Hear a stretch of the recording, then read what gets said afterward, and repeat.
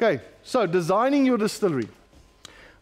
There's four categories, four sets of factors that you have to take into account when you're designing your distillery, and each of these has two subcategories or two sub factors. So the first thing we're going to look at is um, space factors. Now, under space factors, we need to consider the production flow that has to happen within that space, as well as the production areas. Now, the areas get quite complicated because you have to think of hygiene, dirty areas versus clean areas. You have to think of fire risk, flammable versus non-flammable areas. And then obviously the most important, your SARS areas, your VMP, VMS, and bond. These need to be considered when you're actually doing your layout. Um, production flow is, is there enough space to actually do what I need to do? Is there a logical flow in the process? Because you don't want to go back and forth within your space. But then the part that most people overlook is there enough space to do everything that I want to do, including tours? Because remember, if you want to do a tour through your distillery, that means there has to be a large enough space that a, not big, but group of people can walk through that space without interfering with your operational requirements and without endangering themselves. Now, this can include up to the point where you actually have to put a chain or a, a guardrail or something there, because what you don't want is your still is running and it's hot, and now this little kid runs and puts his hand on it and burns himself, and now he gets sued for injury. Okay, yeah, you've got your signs up and so on, but still, you don't want that to happen. So you need to consider that space issue as well for all my activities. Maybe I want to leave additional space so that people can actually do something in the distillery. Have a, a long table dinner inside the distillery. Have a wedding inside the distillery. We're going to talk about that uh, as well looking at peripheral income streams and what else can I do in the distillery to generate income. But all these things need to be considered. Now, as to how much space you actually need, for the physical production process, not that much. Um, in our previous premises, which was half the size of this, we actually had a distillery inside the Distillique. That was before they realized they weren't supposed to give us a license. Unfortunately, there's no such thing as precedent when it comes to licenses being granted. But if you take from the middle of that door to where that camera is to here. That's 35, this 35 square meters was a distillery and had the potential to produce 5,000 bottles a month from scratch, from grain, with a mash tun. Was Heinrich's distillery, was uh, called Lost Creek Distillery.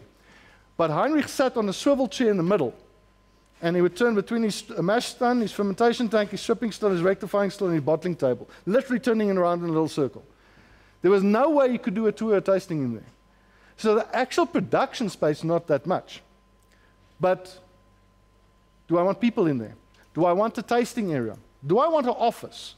Where am I going to store my bottles? Where am I going to store my raw material? Heinrich had to rent a storage unit and bring it here as he needed it. So, how much space do I need to do everything that I want to do and have enough space to grow? Now, a standard light industrial facility, you're probably looking at about 150 square meters. That's more than enough. 150 square meters is more than enough to have storage space, a distillery that can grow up to about 8,000 bottles a month, um, a tasting room area, and an office area. That's more than enough space. That is half this part of the building, excluding the, uh, the front. Okay, so production flow, what actually happens inside? You've got your raw material receival area. That's where your grain comes in, your molasses comes in, your raw material comes in. Then your raw, raw material processing area. Now, if you're working from grain, if at all possible you want to bypass that, you do not want to mill your own grain. Unless you're on a farm, you do not want to mill your own grain. It's messy, it makes a hell of a lot of dust, your neighbors will hate you, and it can be dangerous. Grain dust is explosive, can cause a fire or cause an explosion. So you'll have to do that outside. But can you now imagine I start up a hammer mill outside here in this complex? Can you imagine what this vehicle licensing place's clients' cars are going to look like? No, not going to happen. So working from grain, you want to buy, it, uh, buy in already milled, if at all possible. Like I said, if you're growing your own grain on the farm, no problem. You've got an outside shed, you can mill your own. Otherwise, no, you buy it in already processed. But raw material processing does not just include the actual milling part and the processing part, it's also the physical making of the fermentation. your heated infusion tank, throwing in your molasses and the hot water to dissolve it to make your rum fermentation, doing your starch conversion on your grain, etc., etc. That is the processing part. That is a dirty process. Doesn't matter what you're dealing with, you're going to mess. There's going to be things to clean. You want to make it easy to clean. You want the, a sloped floor. You want a floor drain. You want to be able to take a, a spray the thing off, and clean it at the end of time. It's messy. You want that area as far away as possible from your labels and bottles and boxes. I mean, can you imagine a roll of a thousand labels costing you nine rand a label, 9,000 rand roll? Oops, I got it wet. Poof, 9,000 rand gone a pallet of packing boxes, branded packing boxes, costing you 15,000 Rand. Oops, I spilled molasses on it. That's what I'm talking clean areas versus dirty areas. You need to separate the activities so you don't compromise your product. And obviously, if you're going to go, if you want, thinking about it, I'm actually looking at it now. Um, we've got a client uh, for the distillery in Vienna, um, I'm designing um, EU HACCP compliance, mandatory HACCP compliance. So if you want to export to the EU or to the UK, your distillery has to be HACCP compliant, otherwise they will not allow your product to be sold in the EU or the UK. Now, who knows what HACCP is? It's hygiene and critical control points. It's basically the thing that they started bringing in restaurants of South Africa, cold chain management, monitoring the process, needing the MSDS data sheets and so forth. It's not a requirement for distilleries in South Africa yet. It probably will be eventually. So if you're thinking about exporting to those countries, you need to keep HACCP in mind. You need to keep the segregation of processes and storage areas separate. You have to keep that in mind in your design. But I mean, we do that as standard for all the distilleries we design anyway. Okay, then your fermentation preparation, as I said, part of the processing, actually making the fermentation. Then the fermentation process where your fermentation tanks stand. So already you can see there's a logical flow here. I get my raw material, I make my fermentation, now it goes into my fermentation tanks. After that comes my distillation process. Now, distillation can be a single step or multiple steps.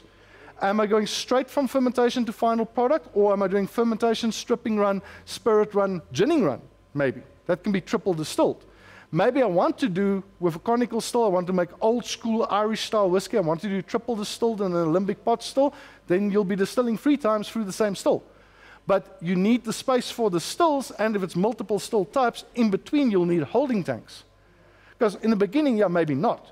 In the beginning, it might be Monday, I'm doing a stripping run, Tuesday, I'm doing a spirit run, and um, uh, Wednesday, I'm doing a ginning run. Then physically, you can let the pipe run from the conical uh, stripping still into the column still and use the column still to store the low wines. You can do that.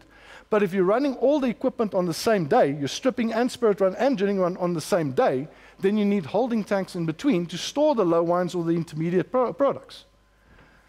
Then comes your spirit enhancement process. Now, technically speaking, ginning would be a spirit enhancement process. I'm flavoring the spirit, I'm enhancing the spirit, I'm not making spirit. Other enhancement processes would be maceration having a tank, a heated infusion tank, for instance, I want to make rooibos gin. I let the rooibos leaves lie in the gin that I've already distilled and I'm macerated. It could be airing or evaporation. Um, in the, Europe, they talk about roasting, where you bubble air through the spirit to get rid of the residual volatiles using an air stone and an air compressor. It might be flavoring adding an essence if I'm making a liqueur or a spirit aperitif. It might be sweetening if I'm doing obscuration on a brandy or, uh, or a rum. Whatever process you're using will be the spirit enhancement process. If I'm making barrel aged rum, that would also be spirit enhancement process because my barrels stay in the production area.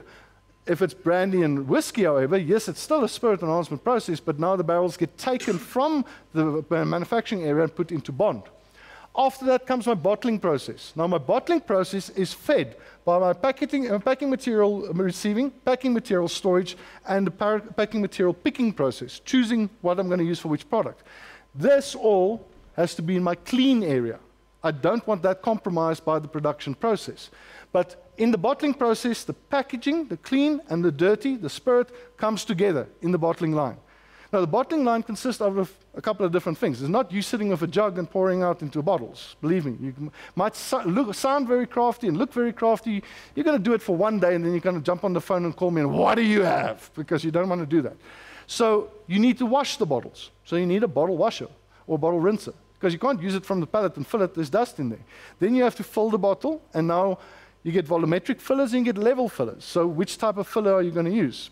Level fillers, more expensive, but it looks more professional because everything's on the shelf and they all look the same, regardless of bottle variances. With a volumetric uh, filler, if the bottles aren't of good quality and there's slight discrepancies in the bottle, the neck level changes. So they don't look professional on the shelf. They all have a different neck level. People are going to think you're cheating them. So which type of filler are you going to use? Um, then you have to seal the bottle. So are you doing ROPP closure, which is the cheapest per closure, but the machine is 60,000 Rand and it never works properly. That's why we stopped selling them. We just couldn't get them to work properly. We, we gave up. So you want an ROPP capper? I'm sorry, we can't help you. And we're not going to recommend anybody because we know they don't work properly. Um, if you want a proper ROPP capper, you're looking at 500 to 900,000 Rand for a line that can do that. So what do we use? We use the closures, pop-in closures, but those have to be sealed. Remember, there's a tamper-proof compliance requirement on bottles. You have to see if somebody opened the bottle before it. So that can either be a heat shrink uh, seal, which is the most common, the plastic uh, seals, or wax dipping, which I love. I think it looks very crafty and cool, but it is expensive. Or you can put a sticker on. They never used to allow the stickers. Now the sticker can be allowed if it conforms to the requirements, meaning it can't be steamed so that the sticker goes off. It has to conform to legal requirements. But all of that has to happen in a space, and then obviously you have to pack it in boxes, seal the boxes, and store the boxes. But that's your bottling and packing process. And then there's picking, shipment, and fulfillment, and finally it goes to the client. That's your flow that has to happen in the distillery. Now, if we apply that flow to the production areas, we see our yellow areas are low risk areas, our red areas that's our high risk areas. The rest is, well, there's no risk you can try as hard as you want. You're never going to light the fermentation on fire. I promise you. Ain't happening. Even turbo yeast, you're not going to get it to burn. But the moment we start distilling and we're working with high percentage alcohol, now we're in a high risk area in terms of fire. The moment we've diluted down for bottling, which happens in the VMP, oh, sorry, in the VMS, the secondary manufacturing warehouse, now we're low risk. 43% alcohol is still flammable. The flashpoint temperature is 25 degrees Celsius, but it is a lesser risk level than distillate coming out of your still. This is also important to keep in mind when you're buying in alcohol. 96% alcohol is extremely flammable, flashpoint temperature of about 13 degrees Celsius. So there is no way on this earth that you as a craft distiller will be able to afford to be legally compliant to store 96% alcohol. You can't do it because now you need halon gas units, you get multiple types of detectors, you have to build separate uh, fireproof storage areas, and, and, and. The cost just escalates. So, what do we do? Dilute it down. You're not going to infuse your gin at 96% anyway. You infuse between 40 and 60%. So the moment you receive the 96% alcohol, you dilute it down to your infusion strength and you store it at your infusion strength less requirements from a fire department, and your losses due to evaporation is limited because the higher the proof, the faster it evaporates, the more alcohol you lose. So it just makes sense. But that does mean that you need a larger holding tank. If you're going to buy in a 220 liter holding tank and you're going to dilute it down to 40%, uh, I'm going to need to spec you a 600 liter holding tank to store your received spirits and that will be 600 liters for every 220 liter you buy at a time. So if you're buying a pallet of four drums, well, then you need a 1,600 liter holding tank to store your diluted spirits. That's how it works. Okay, so that's your fire safety areas. Then we've got our SARS areas. So the blue section, that's your VMP, your primary manufacturing warehouse. Your green areas is your VMS, your secondary manufacturing areas. So the line gets crossed here with the spirit production process. Okay? That's how it used to be. Okay? This has now changed, but it's now, this is again, remember what I said earlier, depends on the person enforcing the legislation. Some of the inspectors still enforce this. So, maceration, infusion, and so forth, they expect that to be in the VMS. Other inspectors enforce it this way, where the line is before bottling. Now, that makes more sense. Because some infusions, liqueur infusions, cherry liqueur, for instance, if you're macerating cherries in alcohol to make a cherry liqueur, that's six months. That means while you are still flavoring, while you're in spirit enhancement, you already have to pay your excise tax. Doesn't make sense. That's against the goal of the law. So the proper interpretation of the law should be that when you cross into bottling, you're crossing into the VMS. And then we get, obviously, your bond. Bonded warehouse forms part of the spirit, uh, spirit, enhancement process, as I explained. Now, I've already explained this slide. I'm not going to go into it in detail. But bonded warehouse, there's distilling activities for aging. Then you put it in a barrel, you put it in bond, and you take it out of bond before you bottle. Distillation activities for export goes, it goes all the way into the bottle, then into bond, and then you export. Spirit supplier, this is the last one I told you about with the rebate. So from the spirit supplier, the neutral spirits gets diluted and put into bond, and then you have your spirit and enhancement making your gin and your bottling. That's the three ways we use the bonded warehouse.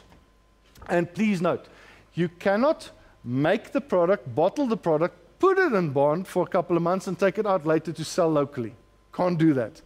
You'll pay massive fines uh, if you try, even try to do that type of declaration. It's a whole process. Let's say you put something in for, and that happened now with COVID when we couldn't transport. A lot of guys had orders in bond, and then we weren't allowed to, to transport it, and the clients overseas canceled the orders, and they had to go through this whole process of getting it out of bond again so that they can sell it locally. Um, massive amounts of paperwork, and luckily we got that they didn't have to pay fines because it wasn't their fault. The government didn't allow them to export, so they couldn't uh, raise the fines, but normally there would be fines. Example floor layouts. This is a I won't say small. Floor space-wise, it's small. It's 12 meters by 7.5 meters is this distillery. This one can do 5,000 bottles a month. Um, you could make this a lot smaller. The reason why it's quite big is because it uses a multi-column still. Multi-column stills take up space. So raw material prep area, making the fermentation into the fermentation tanks, feeding the still, from the still, we've got a feint tank where we store our heads, and, uh, sorry, our heads and tails, the holding tank for our distillate, for our hearts. You've got a clean water tank, blending and mixing tank where we dilute down to uh, strength, and then an infusion tank. So let's say this would be a rum distillery, that's where we make our spice rum. That feeds straight into the bottling line where we've got our bottle pallets. Next to this would be the bottle washer. So you've got your filler, capper, sealer, labeler, packing, and final product. Over here, I've got my lab area filing cabinet, fridge for my yeast and my enzymes, desk, workbench. Over here is my clean storage, far away as possible from the dirty area. Okay? So this is a basic setup. One interesting thing here, you'll note the bund wall. Now, the bund wall is not always a legal requirement. It depends on the fire inspector you're working with. It's a wall, normally we say a meter high, but the height has nothing to do with it. If you take the height of the wall times the length of the wall, gives you the area in, uh, times the width of the wall, the area enclosed. That volume that is enclosed has to be at least equal to the largest holding tank in that area. The thinking being that chance of all the tanks failing at the same time is nil. But if a tank should fail, if the biggest tank should fail and all the alcohol leaks out, the bund wall must contain that alcohol within that space so it doesn't run all over the floor in an Italian distillery where it can ignite and start a fire or spread a fire if it's already burning. That is the thinking of the bund wall. In some cases, the fire inspector might insist that here on the exterior wall, there has to be a drain. So that if the tank leaked and the bund wall is filled up, I can now open the drain as the fire department, drain all that alcohol out before we go in and try to fight the fire but that's, it's very rare. These days, the bund wall is not really enforced anymore. And there's also an exclusion factor where if you've got a sloped floor with a floor drain, they say you don't need the bund wall anymore. Because the thinking would be that if there's a leak, the alcohol would run down to the floor drain and go into the sewage system. Um, that was the excuse a national manufacturer used a while ago to declare a loss of about 120,000 liters of brandy that mysteriously disappeared. Somebody left the tank open, apparently. Okay, so, but we're not going to name names or point fingers or anything like that. So this is a basic layout. Now, how does this relate to the production flow? It's exactly what I explained to you now. Raw material, make the fermentation, into the fermentation, into the spirits, goes into the bottle, and the product goes out. Okay? That's a example of a layout. This one's a bit bigger. Is 30 meters by about uh, 25 meters, if I remember correctly. So Front of us area, got my tasting room, bar, bathrooms for the guests, kitchen to make snacks and platters and stuff.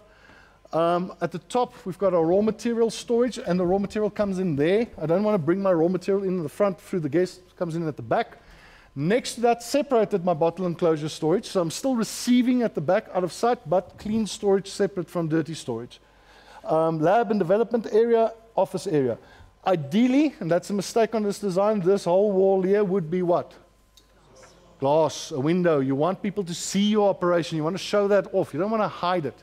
Now, this is a very early example of a phase design, but it's a different method of doing the phase design where you've got a production line and you are now multiplying the line. So you start with one production line you reach capacity, you add another production line, you reach capacity, you no add another two lines. Okay? Each line is now the process where we've got the mash tun, where we make the fermentation, filling our fermentation tanks, goes to stripping still, low wine holding tank, spirit still, spirit holding tank, blending tank, bottling line. Okay? In the middle, we've got our drainage grid, which leads to an effluent sump, flows to the middle angled or sloped floors, so any water, any dirt flows to the middle to the drainage channel and gets taken out. Now, a plant this big, this one does uh, 45,000 bottles a month. Um, you ain't running this off electricity. So you've got a steam generator on the outside. Now, a steam generator burns fuel to generate steam, and that steam gets pumped into jackets. So it's indirect heating. Very efficient, very fast. The issue with steam does come in. Firstly, the steam generator itself is expensive. You're looking at minimum 500,000 just for the steam generator. And you have to think about what fuel source are you going to be using. So small ones, light oil or gas. That's, but now where are you going to store the light oil or gas? Now you need big enough premises. You need to have a safe area far enough away, especially if it's gas, to store those, uh, that gas. You need to think of gas deliveries, etc., etc. There's a lot of issues involved with that. Once you go bigger, we, I did a quote now recently for a plant in Gegluwe, uh, 10,000 liters a day of 96% alcohol of pineapple. So basically NCP Oudtshoorn, but running off pineapple instead of grapes and sugar cane juice. Um, the total quote was 92 million for the project, so we're waiting on feedback. We're a little bit over budget.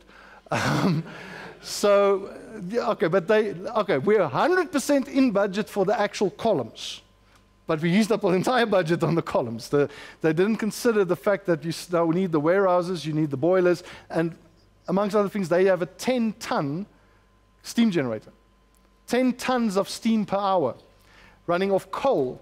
They need 35 truckloads of coal per day to run that place. So I don't think it's going to happen. But unfortunately, it would have been a nice commission. But the, um, the issue is when you go that big, there's all kinds of things you have to think about. Uh, I had to work, get a design for a weigh bridge to weigh the stock coming in, the pineapples. That was a fortune on its own. And, and even a helipad. I had to design a helipad. It was a very interesting process. For emergency evacuation in case of fires and stuff, they, they needed, required a helipad. But so steam generators we, becomes required above 1,200 liters if either your mash tun or your stripping still goes above 1,200 liters, you can't run it off electricity anymore. Now, to give you an indication for those of you that want to do power calculations or you're thinking of a premises you want to work out, do I have enough power? Direct heating element inside the liquid, 6 kilowatts per 100 liter capacity. That's how much you need. Indirect heating, jacket, 8 kilowatts per 100 liter capacity. So that 800 liter stripping still over there requires 72 kilowatts. Okay? Sorry, 64 kilowatts. 64 kilowatts for that 800 liter uh, stripping still. Now, the power adds up quite quickly. Because let's say I'm an 800 liter grain distillery. That means I've got a 1,000 liter, and I'm going to write those figures down here on the board. I've got a 1,000 liter mash tun, so that would be 80 kilowatts. I've got an 800 liter stripping still, that would be 64 kilowatts. I've got a, two, a 400 liter direct heated stripping still, that's 24 kilowatts. Add that up gives me eight, 168 kilowatts to run all of that at the same time. No way you're going to put that with standard load in any um, farm or light industrial facility. You'll have to get a increase in power. Now, there is a way around that. Let's say you've got enough for 120 kilowatts, argument's sake. If you plan your production, if you plan your day correctly, you could make that work. Where you come in early morning or you put it on a timer and your mash tun goes on on a timer. It's safe, it's water, there's no alcohol involved. So your timer turns on at 6 o'clock. Okay? The, the way we design our equipment, your bring to boil is 90 minutes. Okay? With the ratings I gave you now, that's enough to get it to uh, bring to boil in 90 minutes. So by 7.30, the mash tun will be at temperature. And you add your grain and you boil it for half an hour. That's it. Then you turn your elements off. Then the mash tun's done. So 8 o'clock, I can turn on my stripping still. My stripping still will run at 64 kilowatts for 90 minutes, till 9.30. Then I run it at half power. So I turn it down to 32 uh, kilowatts. Now I've got enough power to start up my stripping still, or my spirit still, and that run will be about seven hours. So I'll finish at 1650, I'll be done by five. That's production planning, and that's what we help you with. And even in the, in the cash flow analysis sheet, or one of the sheets in the business course is a time planning sheet that pl plans your time per day, per week, per month, even down to the bottling. How long will it take you to bottle X amount of bottles per day or per week? because you're not going to bottle per day. That small little Enolmatic bottle filler, single head Enolmatic bottle filler, does 300 bottles an hour. You're not going to spend five minutes bottling a day. You're going to stockpile and you bottle once a week. That's how you run it. So if you plan correctly, if you know how to plan correctly, you can make less power work. Just need to ask the question, and we'll make it work for you. Again, production flow remains the same. Raw material comes in, we make the fermentation, we ferment, we distill, we uh, enhance, we bottle, and product out. Now, ideally, the product would not go out the front because same reason. Don't want to wheel pallets out through the tasting room, so I would put a door over here and bring it out. Don't want to take the clean product through the dirty area. But we take in, this, is, this looks very simple. It's actually not that simple. Sometimes we get floor plans that have weird shapes. Sometimes not all the walls are accessible from uh, out the outside. So that's where the experience comes in to make it work. Now, practical factors, things that you have to keep in mind regarding uh, the premises. Firstly, the distillery equipment, and then the distillery infrastructure. Because you've got the building now. So, what needs to go in there? What equipment do you need? And how do we fit that equipment in? And what else does the equipment need to actually function the way we, we want it to function? I mean, it's not like I put in a still and I plug it into the water and I plug it in the power and that's all I, I need. There's other things that supports those activities that has to be incorporated as well. So our distillery equipment is divided into a couple of different categories. Raw material processing, fermentation, distillation, spirit enhancement, storage, bottling, laboratory, heating and cooling, material handling, health and hygiene, office and admin, front of house, back of house, delivery. Okay, that's your main categories of equipment. Now you'll notice or might recognize some of these categories the same way we organize our website. And that's how we approach everything we do. We approach from the process that, guess what, this hobby guy is going to end up going commercial. So from the beginning, we get you used to thinking along those terms, understanding the processes. Now, at the moment, we do not supply those five. Health and hygiene, we, we're probably going to expand our product range quite soon to start including health and hygiene, uh, PPE, personal protective equipment, proper HACCP cleaning equipment, and so on. We're going to start stocking that relatively soon, workwear and so on. But the rest we not, won't. Office and admin, you can go to Walton's or Makro or wherever. Front of house equipment would be your bar equipment. Um, there we can refer to you to catering suppliers, Core Catering, McCater, McBrothers, any of those guys. We're not going to compete against them because uh, we can't deliver it at those prices. And they've got, we're not going to stock that range of items anyway. Um, back of house would be your kitchen equipment and so forth, if you're doing platters and that type of thing. Take it from somebody that worked in the restaurant industry as well. You don't want to rent, uh, run a restaurant in your distillery. You don't. I'm not saying it's a bad idea to have one. What I'm saying is you don't want to run it. So plan for it and rent the space out. That's a very easy way to do it. For one of our clients, the, the concept worked great. So we, uh, we're in the planning phase. COVID put a bit of a knock, knock in their plans, otherwise they would have been operational by now. But they've got this big front of house area with big glass roll up doors. And the whole thing opens up. And they were playing around with the idea of a restaurant, and I just made the suggestion why not food trucks? The food truck can park inside. So that means you can have another food truck in there every week, meaning that the people in your area, and they're in a good area for that, There's a lot of businesses and so on in that area, people will come for lunch every week because every week you've got a different menu. And you don't have to worry about cleaning up or making the food or supply. That's the food truck's problem. And you know, if, you, uh, if it's a busy enough place, the guys will actually pay you for the privilege of standing there or give you a profit share or something. There's many ways to skin a cat, but do not, you do not want to run a restaurant. Restaurants are a nightmare to run. I've been there. Um, and then delivery equipment, okay, we we're not going to start selling trucks. we're not a car dealership, so yeah, we're not going to sell that either. But that is the categories of equipment you need. So what do we find in those categories? So raw material processing, working with fruit or potatoes, there it stands. The hopper is off, but it's, that's that small little stainless steel thing right there next to the copper still. That is a fruit juicer. Uh, but it can also juice uh, potatoes. So if you're making vodka from potatoes, you'll use the same thing. Now, as little as it, as small as it is, it stands there. That's about 120,000 rand. Okay, it does 400 to 600 kilograms an hour. Dynamite comes in small packages, and it separates solids and liquid. So you just throw in the whole fruit, and there you go. You, that's your juicer or you buy in the already processed juice. 120,000 Rand is expensive. So you might, and especially if you're dealing with a juice that's got low sugar, it's actually better to outsource that. Pay a juicing company to juice it for you and make a concentrate. As long as they're not adding sugar, that's legal. They can concentrate the natural juices. So you're not starting at 6% Brix, you're starting at 18% Brix, argument's sake.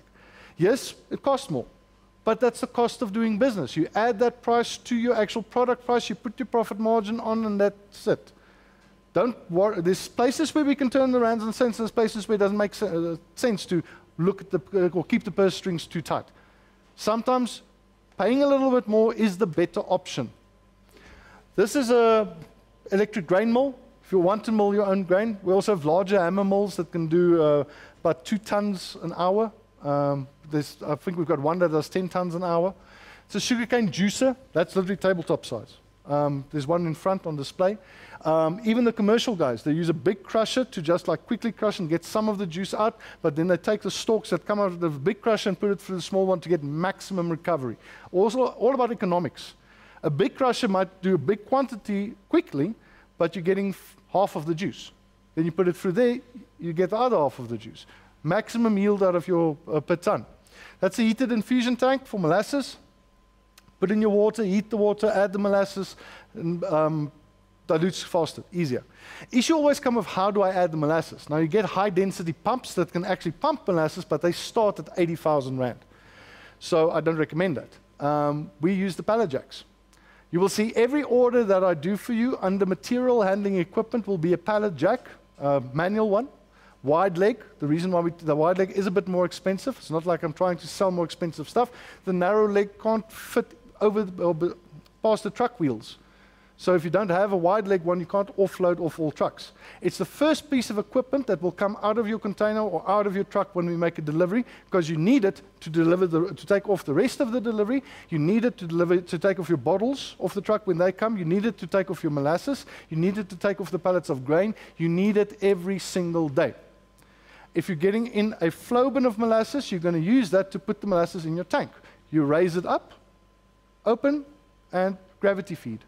Yeah, it takes about an hour for the molasses to run out, but you're saving yourself 80,000 Rand using a piece of equipment you already have. And it doesn't take, it takes 30 minutes to make a molasses fermentation, so you're not really wasting time. Um, mash tun, it's the one over there to make the grain fermentations. Mash tuns have to be bigger than uh, it's one of the things we've now decided. We always try to save clients cost. It's creating situations now where uh, it aggravates things. So that's one place where I'm no longer looking to cut cost.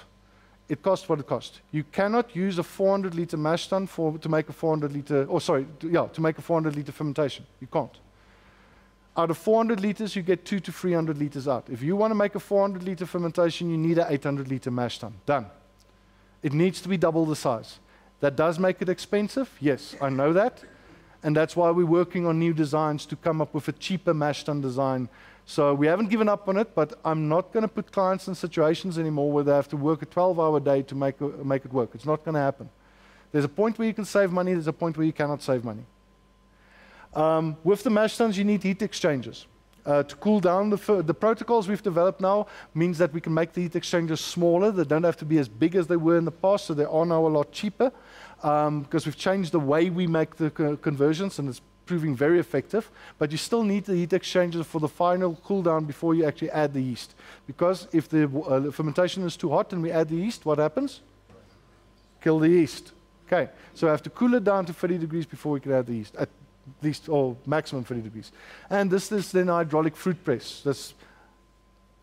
If you want to save money, you go that route, but you don't get as much extracted as you do with this one. This one, you get about 95% juice extraction. Here, you get about 60, 70% juice extraction. Then we get fermentation equipment. Now, over there is a perfect example against the wall there. Stainless steel, 800 liter, actually 1,000 liter uh, dimple jacket fermentation tank.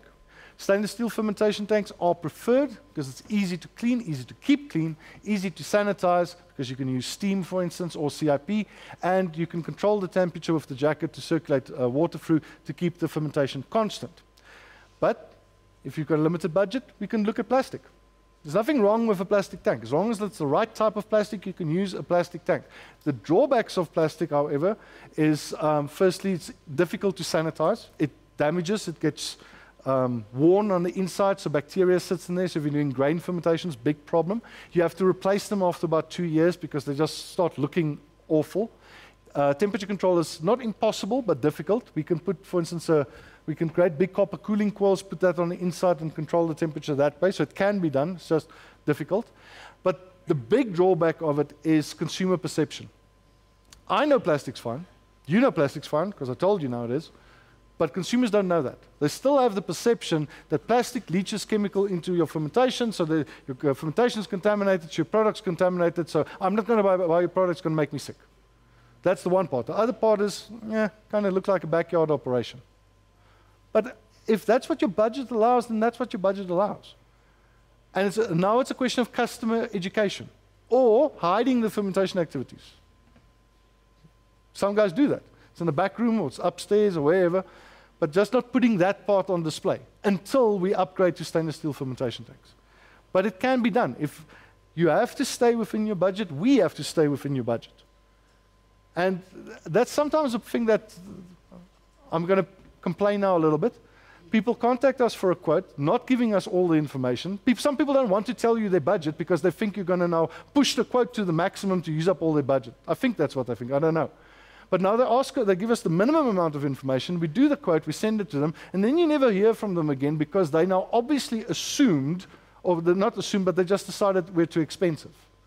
Where if you come back to us and say, no, we can't afford that, what can we do? Then we make another plan. We will quote for the best possible setup for you to do the job, what we know to be the best setup to give the best results.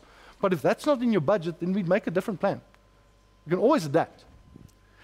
Fermentation temperature control, we've changed that now as well. We're not doing single controls per tank anymore. We're doing a main control box where you control all your tanks from one main control box, your fermentation tanks. Um, so again, the phase design uh, plays a role here where we know you're going to end up with six tanks, so we designed the box to allow for six tanks. Not putting the electronics in yet because that would up the price. We just leave the spaces. So if you want to upgrade, we send you the tank with the module. You unscrew the cover plate, put in the module, plug and play. There you go. The, tank, uh, the system operates the way it's supposed to. Distillation equipment, boilers, direct heated boilers, jacketed boilers. This would be required if you've got solids in your mash, if you want to make grappa, or if you want to do infused distillation. One of the questions on our questionnaire is what method of infusion will you be using? So if you use vapor infusion only, then I'll quote you on the direct pot, uh, boiler. But if you want to do um, infused distillation, where the botanicals are inside the boiler, I'll quote you on that one. So that type of distillery will obviously cost more than this type of distillery. Um, if power is a problem, or if you want an off-grid distillery, or if you want to ensure against load shedding, we go for the gas-electric hybrids, where you can run it off gas or off electricity. So if the power is on, we use electricity. If the Power's off, we switch over to gas. Gas is more expensive than electricity. Even at the prices we're paying and going to pay in future, electricity is still cheaper than gas. Only drawback with that is your maximum size is 230 liters. We can't run gas unless it's specially designed uh, boilers, which cost a fortune. 230 liters maximum, so you might end up with multiple stills, but that's fine. They, they're actually quite cheap. There's one over there underneath the first aid box. It's about 23,000 rand, um, which compared to some of the jacketed boilers and so on, a lot more expensive. We also do obviously do the elements, the heating control systems, all our stuff, all our control systems, all our electrics is done in-house. We've got our own in-house electronic engineer that does and builds every single box. Everything is SA uh, or SANS and SABS compliant, um, which is important because if you don't have a, a compliant box and there's a fire or explosion, the insurance is not going to pay out. If you can't prove that the box was compliant, your insurance is not going to pay out. We actually did an accident investigation report now beginning of the year although some people on Facebook thought I was try, making it up to try and scare people, was actually the truth. Two people died, two more were seriously injured. One was in hospital for about four months. And one of the contributing factors was that the box was not compliant. The box uses a contactor with PID. Firstly, you don't distill with PIDs. Secondly, you never use a contactor in a control box in a flammable area. So there was, the still was faulty as well. The still burst there was a pressure buildup, which should never happen. It burst because there was bad welding. And then the fumes went, filled up the entire place, which was still okay up to that point. And then because of the drop in, on temperature, the contact engaged, created a spark, and the whole place blew up. The building across the road's wall was caved in. Uh, it was massive. It was, I mean, it was a 1,500 liter still. So, and this was because there's guys out there selling equipment that doesn't have a clue what they're doing. So you need to make sure the equipment is safe to use. Now, when we're looking at types of stills, this is African spirits. So that's a 1,600 liter. That's double that one. That's over there. So the vapor chambers we use only in stripping stills. You don't need a vapor chamber. It can be a straight up column. It can be a pipe. Okay? So if you want to save money, that's a place we can save money. Instead of putting the copper vapor chamber, we put a straight up stainless steel pipe. You save yourself 18, 19, 20,000 rand. That's a marketing decision. It looks good. No, people want to see that. They want to take selfies next to it. They'll charge for selfies. 10 rand a selfie. Come on. You pay off, it will pay itself in the end. People will pay 10 rand to take a selfie there. Your distillation columns. Number of diameter of the column, I've already explained. The bigger the boiler, the wider the diameter. Number of plates depends on what you want to make. You want to make brandy mampoer, something with a lot of flavor, four to six plates. You want to make whiskey, six to eight plates. You want to make vodka, 10 to 12 plates. Maybe eight, but it's going to take longer. The number of plates allows you to attain and maintain purity faster. So you can run the still faster with a larger number of plates without um, losing purity. So the whole thing, those of you that's done distillation training with us, you'll know internal reflux versus adjustable reflux. The more internal reflux I have, the more plates I have, the less adjustable reflux I have to use, the faster I can run my still and still maintain purity. That's what that allows us to do. So depending on the product that you're making or products that you're making, we will specify the number of plates accordingly, and that will determine what still you're using. Now, in the end, you will end up with multiple stills if you're doing a phase design approach, you will end up with multiple stills. Now, those of you that's done our whiskey training course or our C10 comprehensive distilling course, you would have uh, remember there's a video there specific. The title of the video is using multiple still types in a craft distillery. Now, the, it's about an hour long video because I do a full case analysis where I actually explain the phase design approach in a lot of detail as well. But the main thing to very, summarize it quickly is that you can start with a 100 liter still. And you can use that to do stripping runs, spirit runs, and ginning runs. So Monday, I do two stripping runs, because stripping runs are fast, four hours and they're done. So Monday, I process 200 liters, two stripping runs. Tuesday, I do another 200 liters, two stripping runs. Wednesday, do another 200 liters, two stripping runs. So I've processed 600 liters of fermentation. Now, 600 of liters, sorry, 600 liters of fermentation, if I strip it, let's say through 12 plates, I'll end up with less than 100 liters of low wine at about 40, 50%. Okay? Now, Thursday, I do one spirit run, one vodka run on Thursday with all of the low wines I've created over the previous three days. And um, Friday, I do my ginning run. I turn that vodka into gin, all with the same still. Okay, that will allow me, assuming a 10% fermentation, that will allow me to do 150 bottles in that week. And that'll give me 600 bottles in the month. Okay, so now I'm making 600 bottles a month, I'm selling 600 bottles in the month. So it's time to do what? Upgrade, expand my operation. So what do I do? I add on a 200 liter stripping still. One thing 200 liter boiler with a head and a condenser. So now Monday, Tuesday, Wednesday, Thursday, Friday, I can strip two to 400 liters a day. Okay, I can do two runs a day. Stripping runs are fast. So I can now do a thousand liters a week, which translates to 250 bottles a week. Okay, thousand bottles a month. I've almost doubled my capacity. I'm using my strip, my 100 liters still. I'm still using that.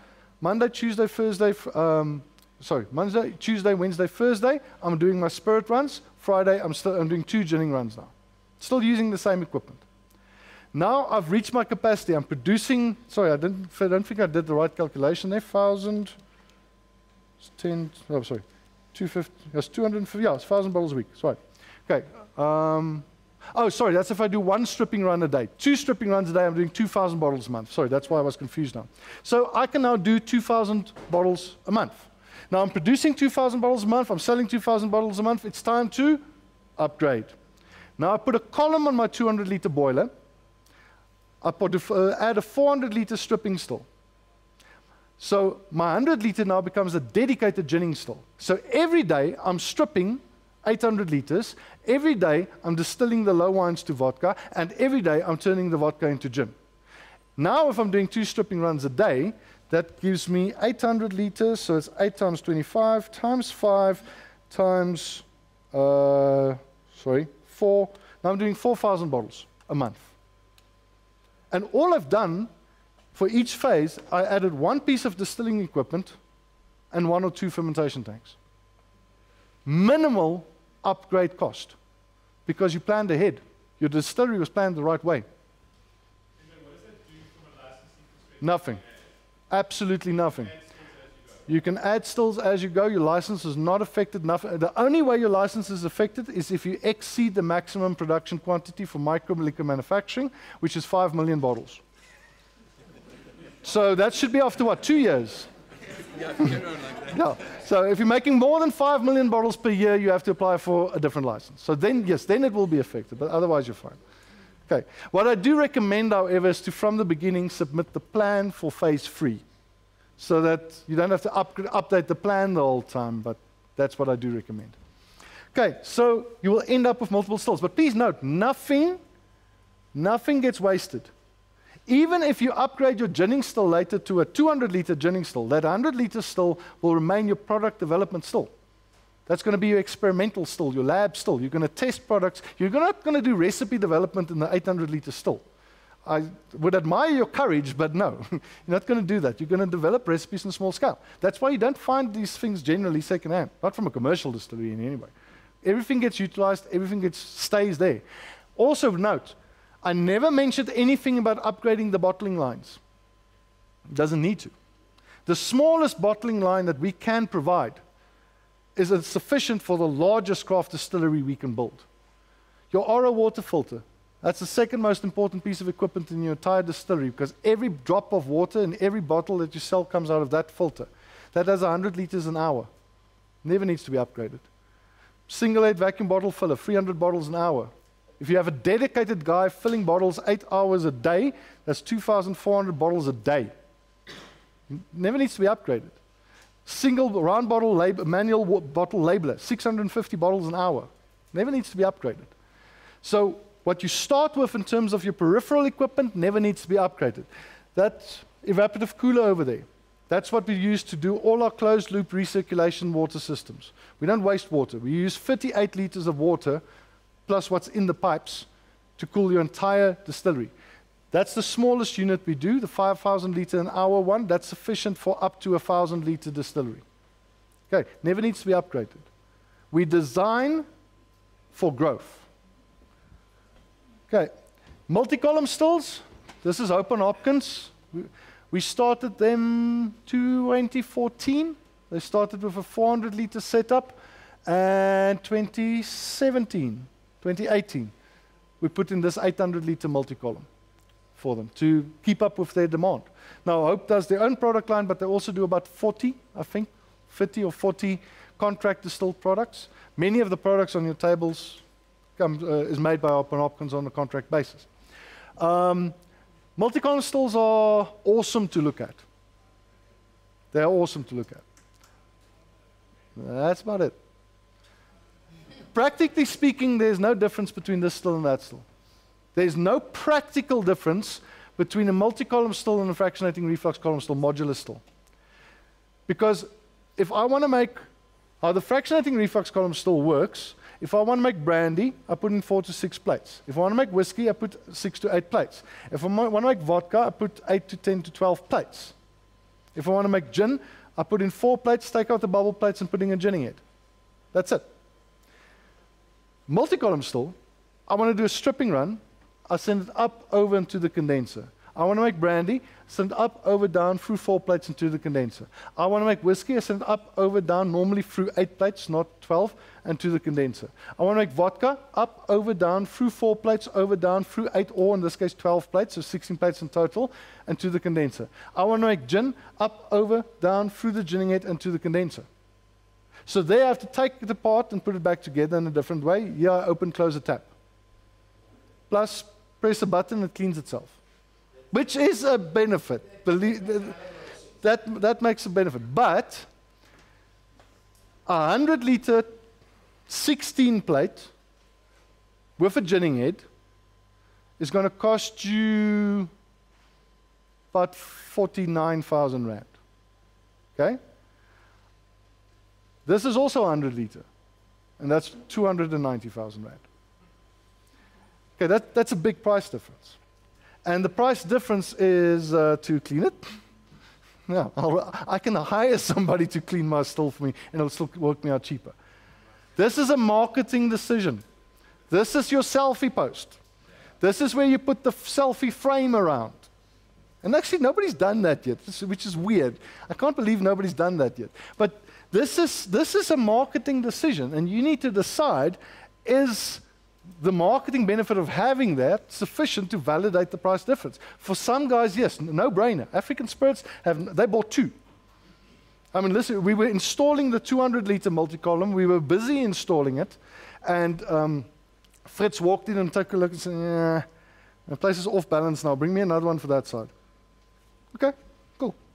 Because the ambience was everything for him, and asked the guys that was at the distillery experience, it works. The place looks amazing. That's why they make a killing out of private events and functions. It was an investment in decor, for lack of a better word. You need to decide is, does that, is that validated in your setup or not? Um, but they do look beautiful. Okay. The, there's also cheaper versions of it. The lighting's a bit bad here, but this is the one we did in Kenya. This is a eight, also an 800 liter with a 1,600 liter stripping still. Um, saved cost because we went stainless uh, on the column, or on the primary vodka column. Uh, this is to make vodka from grapes. Um, they're not doing tours, they're not doing tasting, so copper wasn't a deciding factor. So about 200,000 Rand saved, just because they went stainless and not copper. But still, they are expensive. Then you get your hybrid stills, which is a variation on the multi-column stills, and you would think they would be cheaper, they're actually more expensive. Um, the newest price I got on the 800 liter version, like this, um, this is the one we put in uh, for Honeybush Gin, um, Salt and Copper, the restaurant with the distillery in outside Mossel Bay. This is there still. Um, the updated price now is a million rand for that unit. It makes a thousand bottles of gin a day. So you, it, if you can push those volumes, you'll pay it off in a month. But um, yeah, it's, it's expensive. We actually queried that. We thought there was a typo or something, but then the flippant, I almost call him a name now, sends us back the stock market analysis of the price of stainless steel and copper and says, there's your reason. That and shipping costs. Shipping costs have just gotten ridiculous. Um, but again, marketing decision, not a practical decision.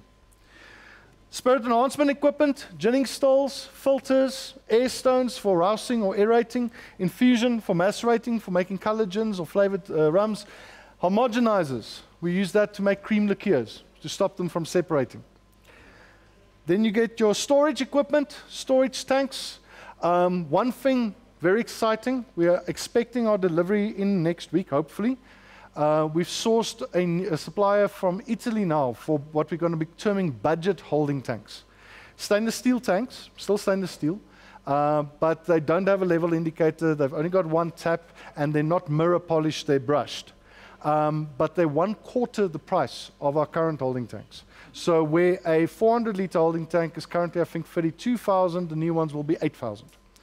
If you consider that you've got about, on average, three to six holding tanks in a distillery, saving 20,000 plus per tank, that makes a hell of a difference. Um, so that's going to make all our quotes a lot cheaper now. And we've already quoted on a couple of them, and it makes a big difference. You've got your barrel racks for barrel storage. You can stack them on top of one another, move them around with your pallet stacker. Again, pallet stacker. Grain bins, like the one there behind you, to store your spent grain until it gets picked up by a farmer or something um, small heads and tails tanks, and obviously then water tanks. Um, now, if you want to use a plastic water holding tank, you're not going to buy that from us. You're going to buy it from JoJo Tanks direct. But keep in mind, it's equipment you're going to need. Your bottling line, I already spoke about most of it, but you've got your bottle washer, four-head bottle filler, four-head bottle filler with built-in filter.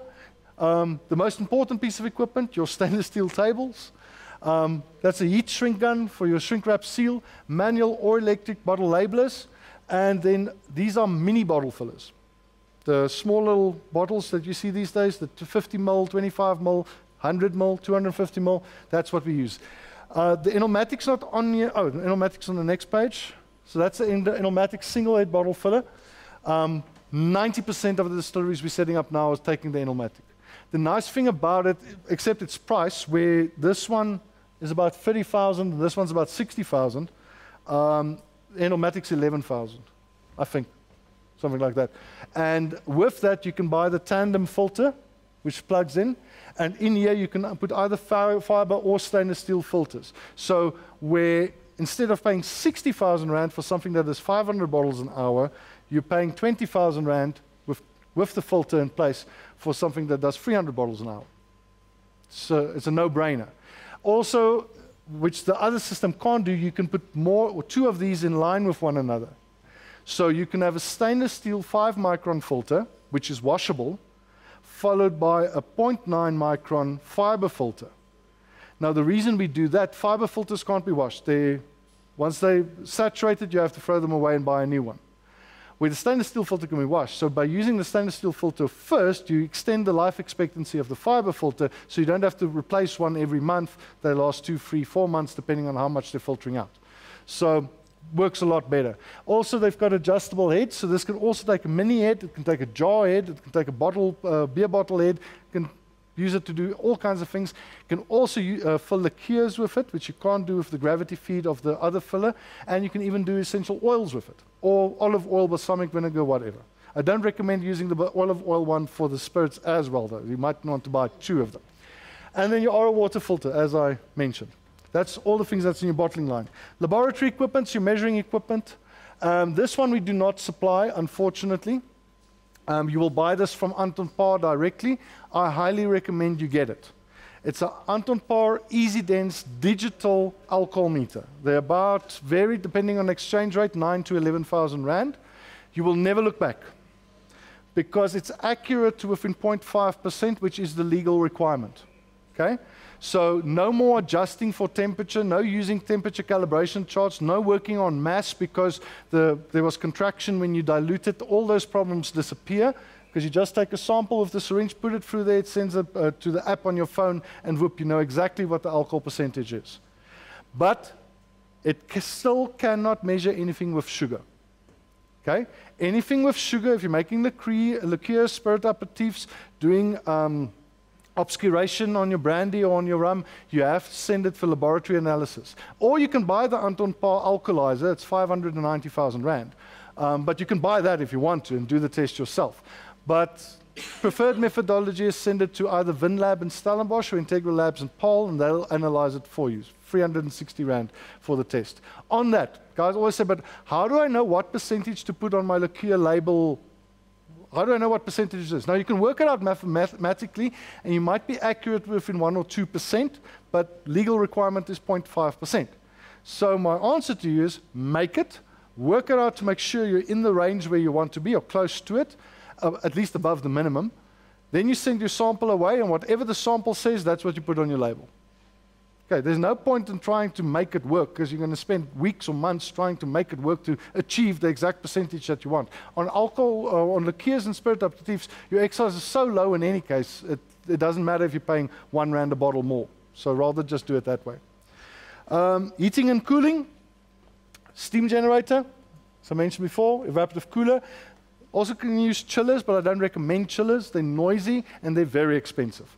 A 5 kilowatt chiller, now remember when you spec chillers, you have to look at the total heat addition, how many kilowatts you're putting out in, and you have to have a chiller that takes the same amount of kilowatts in, which means for a 50 liter boiler, which uses a 5 kilowatt element, you need a 5 kilowatt chiller, which costs 60,000 Rand, opposed to the 50,000 Rand for the evaporative cooler that can handle anything up to 168 kilowatts. It's a no-brainer. You're not going to use a chiller. Okay, you're using the evaporative cooler. Only place where evaporative coolers are a little bit of an issue is in um, high air pressure, um, high humidity environments. Durban, Mozambique. It can be an issue there, but we've installed them in Mozambique, we've installed them in Durban, they work fine. Then we just do the bigger ones. We do the 10,000 liter per hour ones and not the 5,000. They work fine. Um, solar, not really an option, but we are working with a research group at the moment that's working on uh, what they call solar concentrators. Now, the solar concentrator can create about 48 kilowatts of steam and 5 kilowatts of electricity with one concentrator. And they're looking at a cost of less than 90,000 Rand for one concentrator. Um, so they're still in the developmental phase, and we're working with them to do practical testing and so on. So hopefully, within the next year or so, that would be an option which would be great for off-grid distilleries and so on. Material handling is to move stuff around. Your pumps, your pipes, your hoses, barrel picker. To now can actually lift up that drum without having five guys that you're employing just to help you carry something around. And actually not that expensive. Okay, I say not that expensive, but relatively. It's 6,000 Rand, I think. But, I mean, you can now, man alone or woman alone, take a 220 liter barrel around. Your pallet stacker, as I said, first piece of equipment you have to get. And then if you're not using mash, if you're buying in alcohol, that's all you need. Magnetic coupling pump, 3,000 Rand. Does for the cheap one, it does 12 liters a minute. That's more than sufficient for any distillery. Um, the more expensive one is 25 liters per minute. Um, it's okay up to 96%. Yeah. Uh, waste bin, that's the wide leg pallet stacker. Oh, sorry, that's the electrical one, the one that's over there. Um, okay, that's obviously a lot more expensive. Um, only reason you would have that is if you're doing high reach, because the manual ones have a, a height limit, the electric ones don't. Um, and as I said, your waste bins and buckets. You never have enough buckets. Buckets, measuring cylinders, never have enough. Standard in a quote, I put in four buckets. Okay. Distillery infrastructure, water, electricity, drainage, ventilation, access, health and safety, security, hygiene, and then other. Other would be backup power, effluent treatment, steam generators, and so forth. Water, um, those of you that's already members of SACTI, in the SACTI library, the member access only area, there is this full, there's a very long article with the full diagram and everything about how to design your water usage system in a distillery. It's not a question of I've got a tap and everything runs from the tap because you've got different water requirements for different phases of the process. For instance, you cannot use demineralized water in your mash tun, but you do want dechlorinated water in your mash tun. You want minimal TDS, total dissolved solids, going into your RO filter to make the water as clean as possible and to extend the life expectancy of the RO filter. So you might put in a pre-filter system before the um, RO filter. Depending if you're using borehole water, you might need um, to use a um, water softness system, obviously, but there's also, I've got the word now, to remove metal, can't remember it, but you might want to remove the metal from the borehole water. So different aspects of the system needs different water requirements, and you have to design accordingly. Electricity, Municipal supply, municipal supply is accessible, it's cheap, but there is a capacity limitation. And then obviously in South Africa, it's unreliable. Load shedding. Nothing worse than starting up your still or making a mash and then the power goes off. That happened uh, last Saturday. yes, these guys were here. We were making a mash. A client was picking up all 200 liters at 1 o'clock and load shedding kicks in. I didn't know there was load shedding. And we had to postpone the whole thing for three hours before the client could collect the mash until load shedding was done. Nightmare. Now imagine that's happening while you've got stuff in pumps or in pipes and you're pumping things. It's an absolute nightmare. So unreliability is an issue. With steam, there's no capacity limitation. It's controllable, but you've got a very high capex. The equipment is expensive. There's special requirements in terms of storage and fuel and so on, and there's extra logistics. You have to find a supplier for the fuel. You have to plan ahead, safety certifications, and, and, and. So you have to keep those things in mind. Drainage, floor drains, slope floor with floor drains. To clean your distillery. Distillation can be messy, especially if things go wrong. That's what I loved when I was in Italy now. They, he built it exactly how we designed it because he could, because he owned the building. If you're renting, it's always an issue because landlords don't normally allow you to break up the floor uh, and put in a floor drain. But he built it exactly as we spec, and it was a pleasure to work there. No matter what went wrong, and things go wrong, I'll freely admit things went wrong there. It always happens. But out comes the WAP, shh, done, clean. It's like it never happened. Where if it's if you don't have a floor drain, if you just have, and heaven forbid the floor's not even level, okay, now it's pooling, now you have to find mops, now you have to find rags, now you have to scoop up stuff to take it outside. It's a nightmare to keep clean. Now, the last thing you want to do after you have this great day of making fermentations and distilling and bottling and selling product, and now you come at four o'clock in the afternoon, now you have to spend two hours cleaning your place. That will just make the whole day a negative. Um, in Hope on Hopkins, one video, Lucy says a very, very true thing. Distilling is 90, uh, working or running a distillery is 10% distilling and 90% cleaning. And that's even more true in a craft distillery. Because it's not just a hygiene thing or avoiding bacterial infection and fermentation. It's because you're on show. People are visiting you, they're seeing it. You don't want the place to look messy. So you need to make the cleaning aspect of it as easy as possible. Ventilation, legal requirement, safety requirement, common sense requirement. So getting air in, in, not out. In tractor, pushing air in at the top, creating overpressure, pushing the carbon dioxide formed during fermentation down and out through vents at the bottom. Extractor pulls the oxygen out, causes the carbon dioxide to rise faster. So you need an intractor fan blowing air inwards. Or natural ventilation, units like this, which is windproof, stops dust from blowing in, that on ground level would allow the carbon dioxide to go out. Just be aware it can create a weakness in terms of uh, somebody breaking in through the vents and so on, so just keep that in mind. Loading areas, uh, access areas, stupid little thing that creates big problems. We cannot use these doors. We can't use them because the lip there doesn't allow any of our pallet stackers to move in and out with a load. Empty is no problem. So we can't receive deliveries on this side because that edge is too high. Luckily, we've got another door. But if you were renting half of this building and this was your only entrance, you would have to rebuild that entire door to, in order to accept the deliveries. And now you're running into problems with the guys that manage the, this, the complex and so forth. So, can I get in and out here? Where am I going to offload?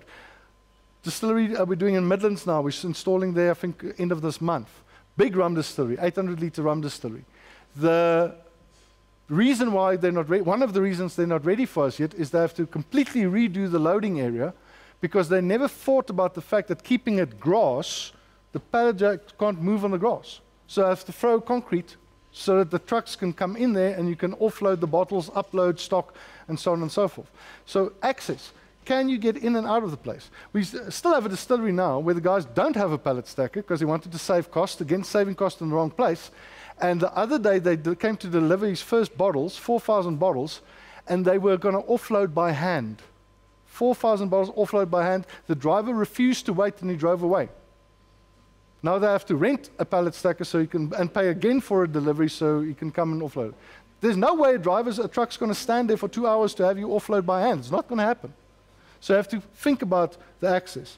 Health of safety infrastructure, Fire being the uh, most important one, emergency lighting, routes, pest control, personal protective clothing, food production space, flammable substances, public area. All of these things make a difference. Security, uh, cameras, alarm system, burglar bars, security gate, I've already mentioned that. And hygiene, CIP stands for clean in place. We're working on a new design very similar to this, which is a mobile CIP unit. So you can heat up your, uh, your acid, you can heat up your alkaline, pump is included, and you just hook it up to whatever you want to clean, be that a still, be it a fermentation tank, be it a holding tank, be it a mash tun. You spray the acid or the alkaline in, pump it out the bottom again, so you keep it, you re reuse it until you can't anymore, and then you dump it and you make up a new batch. It's the easiest way to keep your equipment clean. Otherwise, you need a steam cleaner to clean your equipment properly because you sanitize it the same way. And then HACCP grade cleaning equipment. HACCP grade means, for instance, the bristles of the broom doesn't fall out. The mop hairs don't fall out. There's no chance of the cleaning equipment contaminating your product or your process.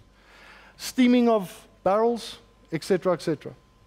And then other would be solar power, as I mentioned, steam generator, storage equipment, and then we've developed this with a company, um, local company that's making them for us, containerized effluent treatment systems. This is now for big distilleries. Large amounts of effluent, um, 20 to 50,000 uh, liters a day, to treat the wastewater coming out of the distillery, including the stillage, making it potable again, so it can go back into the systems. You can't just dump your stuff down the drain. You have to have a waste management plan. It's on our Distillique website under the articles. There's a free waste management plan. You can just download it or copy it and input your values. None of our clients have ever had an issue with it because you have to submit that as part of your license application. You have to tell them how much waste are you going to generate and what are you going to do with that waste.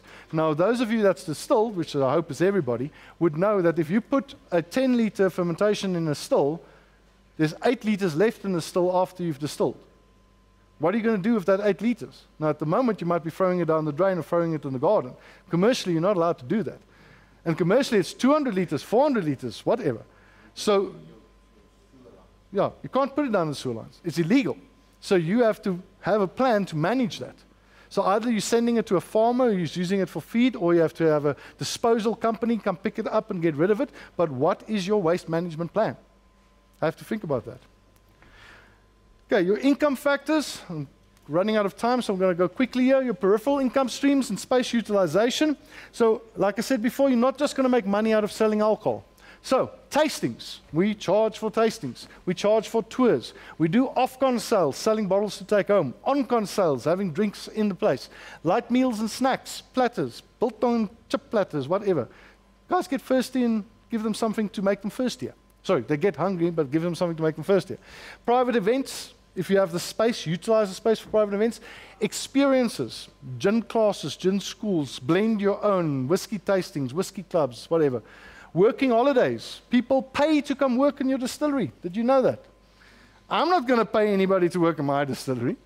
They're going to pay me for the privilege of working in my distillery. And they do this. Foreigners are crazy. They pay to work. They, even locals are crazy. People pay to work in the garden at Babylonstoren. I've never had anybody offer to work in my garden. Just because is bigger, that's not fair. But people pay to work on an olive farm. They pay to harvest grapes on a grape farm. They pay to come work in your distillery. My personal craft distilling hero, Christoph Keller from Stählemühle Distillery. He does four, two sessions a year where he takes, um, what's the word called? Not inductees, not apprentices, interns, thank you, for an internship or a f- two month internship, you pay 50,000 euro for the privilege of being his intern. And, you still, and that does not include your accommodation. You still have to sort out your accommodation and flights and everything as well. Why not? People take advantage of it. Pairings. I mean, these days people are pairing weird stuff. Wine and sorbet pairings, wine and ice cream pairings, brandy and chocolate pairings, brandy and chili pairings, rum and anything pairings. I mean, so, hey, it's a selling point. Um, off-site events. Little branded vehicle, branded van like outside. You go out and you put up a pop-up gin bar. My wife showed me an article the other day that apparently pop up gin bars are still a thing at weddings. I'm like, why are you looking at wedding magazines? Is there something I should know? But, but uh, I was more worried about that. But it's good to know that gin bars are still a thing. Um, corporate gifting, making personalized bottles for corporates. Who here's got the Clement Gold bottle? I think it's over there. Okay, Clement Gold gin. Who knows the backstory of Clement Gold gin? Was never supposed to be a brand. Clement Gold went to Hope on Hopkins and asked them to make Christmas gifts for their farmers. And all the farmers wanted more. The demand was so high they decided, decided to make it a brand because their Christmas gift, their corporate gift, was so popular. Uh, contract distilling, we've discussed that already. Complementary products, what else can I make with what's available in my distillery? Spent grain, for instance. I can turn spent grain into rusks. I can turn it into health breads. Got a, we've got one client, he does gin, his wife does essential oils from the same botanicals. She then makes soap from the essential oils of the gin botanicals, and she puts some of the spent grain into the soap as a biodegradable skin scrub. Why not? Make money out of waste. Why not? Um, merchandising, branded caps, branded T-shirts. If your brand is popular, people are going to want part of it. Wilders does that really, really well. Barrel clubs. A couple of friends buy a barrel. The rum is perfect for this because you can do 5 liter barrels, 10 liter, 25, 50 liter barrels because there's no legislation about it. So a couple of friends or a corporate or whoever buys a barrel, they pay you in advance for all of the rum that's in that barrel or going to be in that barrel. Now you put it in your bonded area, and now the club comes to visit its barrel. How are you doing? You're aging well? Let's taste it a little bit, sit, have a drink, have some other drinks. And they keep on visiting, visiting it. Every time they bring a couple of friends along, how are you doing?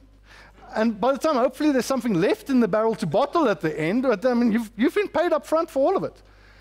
But there's also that marketing benefit because the whole time there's people visiting. If you're doing it with a corporate, you have a barrel, barrel filling event where they invite, invite the entire staff and top clients, and you get people coming to your distillery who otherwise would never be there. We can do that with rum in South Africa. Fan club events. Start a fan club, loyalty card system, where the fans get invited to pre launch activities or they sit on tasting panels to, to give you feedback on new product development, keeping people involved. Fan based discount, 10% discount. You're selling directly to the public, you're still making 30% more than you should. So, all these things that you can do. So, tastings and tours is just everything I've discussed already now. Um, and then space utilization, what else can we do? If we've got the space, why can't we be a wedding venue? If we've got the space and the place looks good, why can't they do fashion shoots in our distillery? If we've got the space and the ambience, why can't there be team building events or product launches, car launches in our distillery? In the end, the only thing that limits you is your own imagination. What can I do in that space? Okay, so it's five minutes to 12. Oh, yeah. Marketing factors, uh, that's basically just ambience, using what's around you. And, but you can only decide that once you've chosen your location, but also your interior ambience. This is, do yourselves a favor, especially if you're a steampunk fan. Iron Balls Distillery in Thailand. It's like the most incredible place you've ever seen. Go check their videos on YouTube, check their. Um, uh, website, search Google images. It's, an, it's amazing. The, you can see the stills in an old conservatory. The entire ceiling is bottles. And the guys that started it, they're two divers, deep sea divers. So everything is like this old nautical feel to it and so on. They, that's what I call living the brand and living the dream. Um, it's absolutely beautiful. Um, also, another thing you can Google, it's uh, also a video on our um, Facebook page, Lost Spirits. It's like being on a movie set. They created the warehouse to create imaginary places where their spirits could come from. So as you walk in, there's this pool of water. And that's actually the reservoir for the cold water recirculation inside the warehouse. And you climb on a pontoon or raft and you get pulled across this artificial lake inside the warehouse. And then you're in this freaking jungle, and then around there's the stripping stills, copper stripping stills, handmade with the outlets looking like dragons. And there's steam coming out the dragon's noses. And then you're into the island of Dr. Moreau, where it's like these canvas tents and also surrounded by plants and jungles and robotic parakeets saying, buy some more, buy some more, and uh, like all kinds of weird stuff. And it's literally like creating this experience, and people freak out about it. I mean, it's gimmicky. Yeah, of course it's gimmicky. But if a gimmick works, if a gimmick leads to sale and the quality of the product leads to repeat business, there's nothing wrong with a gimmick. Okay, now the question earlier, and that's the one I want to quickly discuss before we finish up. Sorry, we get a little bit over time. Um, oh, sorry, this is actually Lost Spirits. That's Lost Spirits. That's the where you walk through to get to the dragon kettles. That's the island of Dr. Moreau. And then they've got their lab area. They've got it's like an alien spaceship where they do the rapid maturation of their rum with intense light aging and music maturation, like weird stuff. Okay, but I do quickly want to um, show you the cost analysis or cash flow analysis very quickly. Now, again, these are in full detail on our business course. Um, there's five case studies on the business course, and I go through all of them, basically screen recordings, as I go through them to explain how they work, how you use them, and how you can change them and manipulate them, and so forth. Uh, but there should be a version there that you can already use regardless of what you want to do. There's grain-based distillery combination of whiskey, gin, and vodka, rum, etc. So this is a gin produced from neutral spirits. So the first page is your equipment list and services and so forth.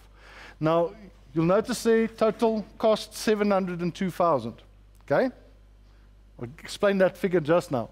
This is enough to make 2,000 bottles of gin per month, assuming worst case scenario one run a day, minimal alcohol strength in the, uh, of the still of 40%, um, etc., etc.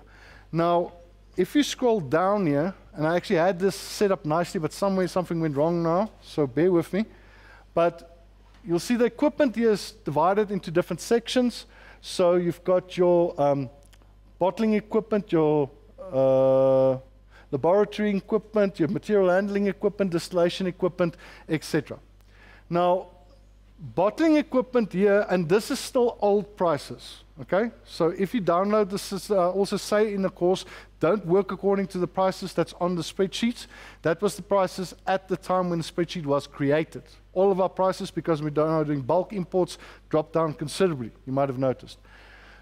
So in this worst case scenario, the total cost was 708,000 for all the equipment, which is the bottling plant 222,000, when now it's about 100,000 at the new prices. The distilling equipment here was about 100,000, which includes an 800, stainless 800 liter stainless steel holding tank. That one right there at the back. That one is about 81,000. The new budget tanks we're bringing in is 9,000. So 72,000 rand cheaper. So massive savings already. But the other thing you have to realize is that in these sheets, it includes a bunch of stuff here at the bottom which we don't supply. 52,000 Rand of office equipment, 101,000 Rand of additional services, which includes the license application, SARS registration, product approvals, and, and so forth. Again, worst case scenarios. I don't paint pretty pictures. There's no point, there's no benefit, zero benefit for us to sell you a distillery and you fail. Zero benefit. Yeah, okay, make a sale. But if you fail and other people fail, that damages the industry and then we, we can close our doors. We're not going to be around. We need every one of our clients to be successful. Otherwise, we, not, we don't have a future. So, everything in here, including optional services, is in here. If you don't want the service, you don't take that service. You, if you want to plumb the place yourself, you do it yourself. So you can save costs. So worst case scenario, that works out all inclusive, all the additional costs, 700,000. Okay, to that we add utility services. Now utility services is things that we, well, some of we do now, normally we didn't. Like plumbing, like electrical, like building your tasting room, that we're not going to do. So there's allowances for that. There's another 230,000 Rand allowed for creating your business, creating your establishment. Okay, then we've got your packaging cost. Now, this is actual packaging cost, but also worst case scenarios. Not worst case, obviously, you can pay 100 Rand a bottle, but these days, most of these bottles, if you buy from the right suppliers, you pay about 18 to 19 Rand a bottle. Not as here, 25. Your labels, front label, about 4 Rand. 1 Rand 55 for a back label. Your closure, 2 Rand 60.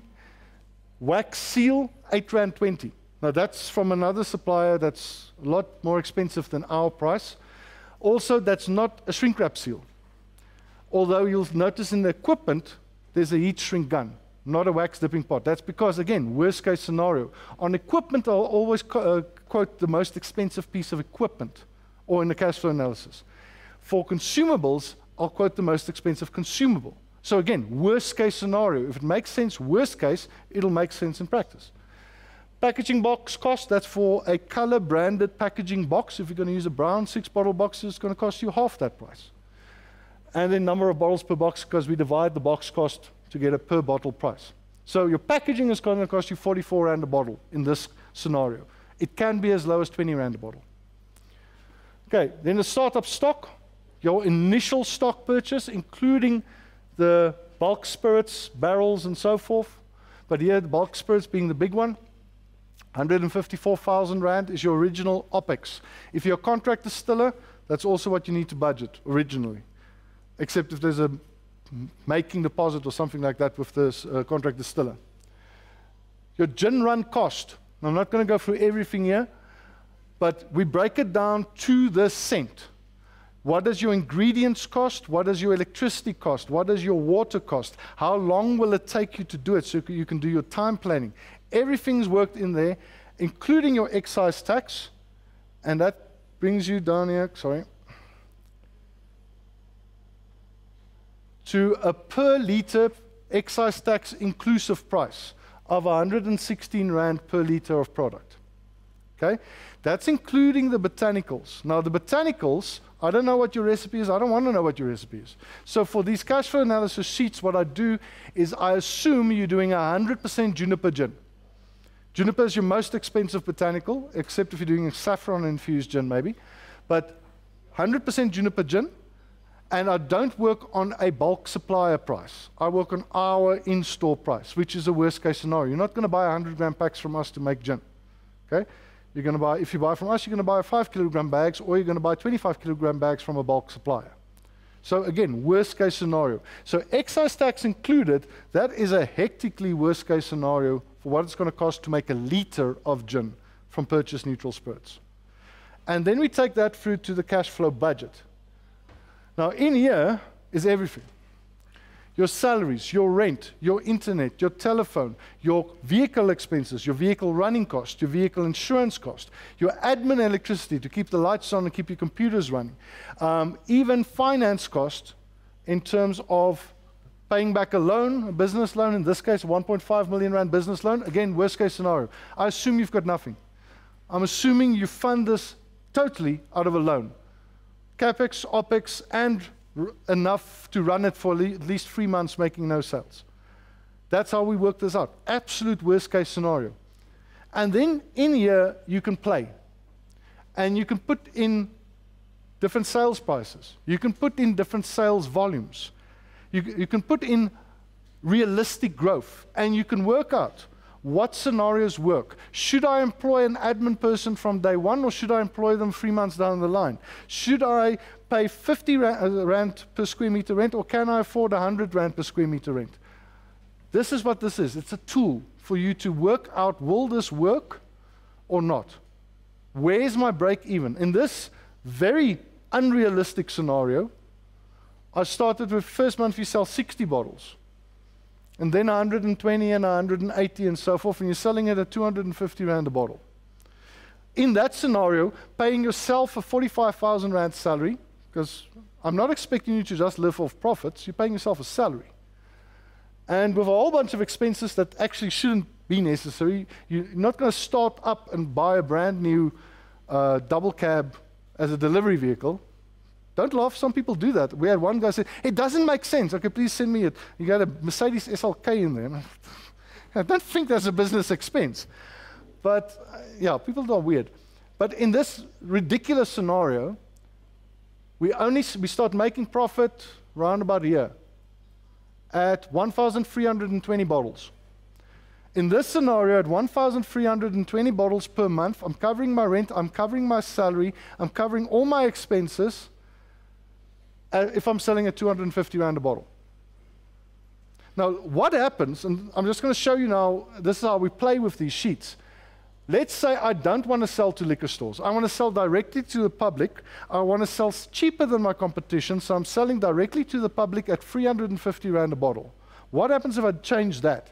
350 a bottle. And now my, it's over here. I have to sell 720 bottles a month.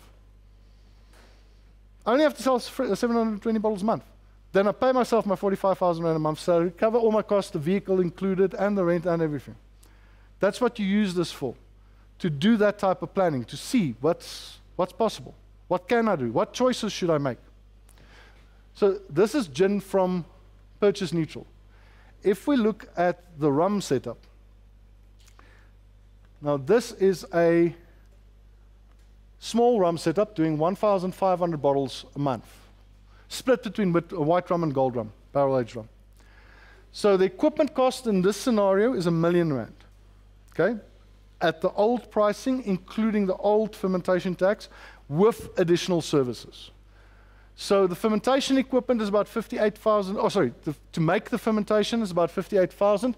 The actual fermentation equipment, and this is, I can't read that now, 400 liter, free 400 liter jacketed boilers or fermentation tanks, the ones up there. With the control systems and everything, 170,000. The distillation equipment, 282,000. Bottling line stays the same, 222, but that's, like I said, way too expensive. Plus all these additional services. Um, oh yeah, I forgot, there's also like additional expenses allowance of 50,000 Rand in there, so just mad money, whatever you want to call it. Um, 50,000 for the licenses, which is also too much. But there's a lot of extra cost in here to get to that, let's say, million rand setup. The utility services we, we treat the same way. The packaging cost we treat the same way. The startup stock will be a bit longer because now we've got things like yeast activator, we've got yeast, we've got nutrients, we've got alkalines and acids and all kinds of other stuff, as well as barrels, 12 barrels. So 157,000 Rand startup stock, which is about the same. See, all those peripheral stuff equals the neutral spirits we bought for the gin. But now the production sheets are a bit different because now we start with the cost to make a fermentation, all the way to how many rands per liter of fermentation, including losses. There's an allowance for 5% sedimentation loss in the fermentation. That transferred to the stripping run, where we've got the total cost to do a stripping run. That transfers to the spirit run to make your white rum. In this case, 126 Rand per liter of rum. But that's working on buying molasses from us in 35 kg barrels. Worst case scenario. You're not going to buy from us. You're going to buy 1,000 liter flow bins directly from Huletts. So the price is going to be less than half. Okay? And then your gold rum which is now including the barrel aging process as well as the barrel cost. And just to be totally ridiculous in terms of being conservative, I assume you're going to use the barrel once. So your entire cost of the barrel, which is again not the cost from the barrel supplier, from us, you're writing off that entire cost on a single batch, which is ridiculous. For rum, you can use the barrel 20 times, at least. I like being ridiculous because if it works while I'm being ridiculous, it's going to work in practice. So, barrel aged rum, 170 Rand per liter of product in that ridiculous scenario. And again, that goes to the cash flow budget. But now I've got two products with two different prices. The white rum is going to be cheaper than the barrel aged rum. And based on this scenario, my break even over here 720 white rum, 540 uh, gold rum. So that's 1,260 bottles. And I'm still covering my salary, I'm covering my costs, covering the vehicle, and everything. And that's assuming now that shows there in month 13, but again, I'm being ridiculous 60 bottles, 120 bottles, 180 bottles sold. If you did your pre marketing and you sold a thousand bottles in the first month, A for away. Because if there was quality in the bottle, the same guys are going to buy again. And the guys that didn't make it in time for the first month is going to pre order for the next month. And because they're buying the white rum, they're all waiting for the gold rum to come out. So all of them are going to buy the gold rum if you did your pre marketing correctly.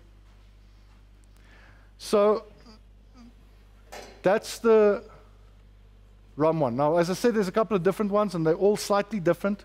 Obviously, if you're doing uh, ginning from raw material, it's different costing from ginning from purchase neutral and so forth, but all the variations are, are in the course. Um, as to the question earlier, the gentleman asked, how much is the equipment going to cost? How much is it going to cost me to set up a distillery? There's no easy answer because it depends on too many factors. Depends on how many, if I want to do a thousand bottles a month, rum, and I'm willing to work five days a week, then I can set up a, a cheap distillery for you for 170,000 rand, 150 to 170,000. Can do that. But now the question becomes, when are you doing your marketing? When are you doing your deliveries? When are you doing your admin? Is if you're producing five days a week, when do you have time to do the rest of the stuff?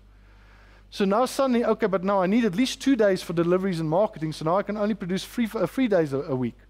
So now your distillery is not going to cost you 170,000 anymore. Now it's going to cost you about 250,000 because you now need bigger equipment because you're not working five days a week. Or you need to employ an additional person, but now you have to sell more because you have to cover two salaries. There's a couple of factors involved. So if you want to know what your distillery is going to cost you, send me a mail. I'll send you the questionnaire. Some of you will be able to answer those questions now because you've been thinking about it for a while. Some of you won't be able to answer the questions now. And you'll have to think a bit. Or you're going to have to set up a meeting and come sit with me and we discuss it. That's fine. In house consultations, we don't charge for. You have to fit in with my timeline. I'm very busy, you know, but we don't charge for it. We come sit, you come sit, we talk about it. What can you do? What can't you do? What is your budget? What do you want to accomplish? And we find a way that works for you. In the end, what I want you to take from this is this is a business that can be extremely profitable. You can make a lot of money in this industry, but it's not easy money. There's going to be a capital investment, more than what you think. There's a lot of guys sitting at home at the moment that's been doing home distilling and thinking to themselves, yo, I mean, I'm going to start selling booze now. I mean, look here, my kit cost me 20,000. I can make 50 bottles a day. I'm going to sell it for 200 rand a bottle. I'm going to coin it. Not if you do it legally. It's not going to happen. And there is no plus side on doing it illegally. All these peripherals that I showed you now, all these other ways of making money, it disappears if you're illegal. Can't do any of that. You can't market properly. You can't do a Facebook ad campaign. You can't put up ads. You can't put up a billboard. So, how are you going to sell it? You might be making 150 Rand a bottle profit because you're illegal and you're not paying excise tax, but you're not going to make money. And the whole time, there's this sword hanging over your head. What if the police come no- comes knocking on my door? It's not worth it. There's money to be made here, but you need to be dedicated. You need to be willing to put in the work. You need to be willing to work. It's not easy money. And yeah, you need some capital. So either you need an investor, or you need to take a loan, or you have the money available. In the end, anybody who wants to start a business should consider starting a craft distillery. And this is now no jokes. This is now not marketing speak. This is my personal life experience. I was operations manager for franchise groups. I was a franchisor. I was the guy selling franchises to people. I can tell you right now, franchises don't work because the only person that makes money is the franchisor. The franchisee does not make money. And I see lots of heads nodding, so many of you have gone down that road. But forget about the franchise system. The, the type of business, be that takeaways, be that restaurants, be that bars, be that clubs, be that pubs, be that whatever you can think of. There is no business that has the potential quick return on investment that a craft distillery has.